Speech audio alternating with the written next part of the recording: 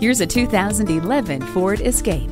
Designed for versatility and value, it has standard amenities including steering wheel cruise controls, stability and traction control, a split folding rear seat, and post-collision safety system.